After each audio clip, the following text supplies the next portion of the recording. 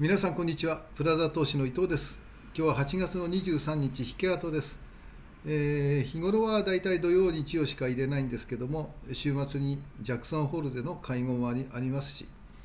えー、思惑通りの下げになっておりませんのでちょっとここは緊急に入れさせていただきたいと思います、えー、今日皆様にお話しするお話です。下に下値足りず戻り売りではないかという、えー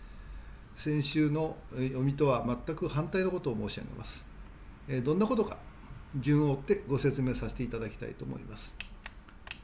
まず、10週目の叩き込みならずというふうに書いております。ここ14年、10週連続の要線に対して、次の週から10週連続で叩き込みがあるんではないかというふうに思いましたが、ここのところ、陽線、陰線、陽線、陰線、陽線と、こういうのを表紙にっていうんですけども、えー、今回、陰線の中に陽線がはらむ形になってて、叩き込みになってないんですね。えー、当初私が思ってた値段は3万1000割れぐらいを思ってたんですけど、その水準が出ない形で今のところ推移しております。えー、なぜ3万1000割れを考えたかというと、それは月足にあります。これは1月から6月まで引け値ベースで連続上昇。特に4ヶ月連続陽線で、この陽線の最後の安値が3万という853円ですので、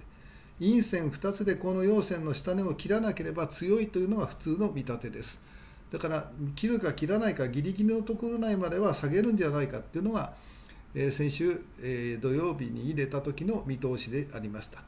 えー、ただ、これはちょっと違ったんではないかというふうに思っております。えそれは収束点ですね。今回の下げによって上に28収束点ができました。今日2つ取りました。ただ、今回の下げで取ってほしかったポイントがここに書いてある通り、3万1000、3万3196から3万飛び932までのこの5つのポイントは取ってほしかったポイントです。そうすればすっきりと上がる形になったのではないかと思っております。え次は日柄です。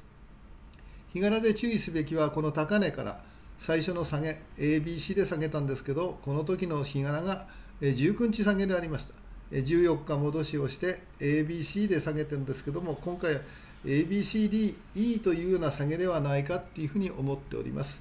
19日下げにということになりますと、あと3日間、思わぬ急落のある可能性があるのではないかというふうに思っております。なお、次の詳しい見通しについては、また YouTube で明らかにさせていただきたいと思います。皆様今日もご視聴ありがとうございました。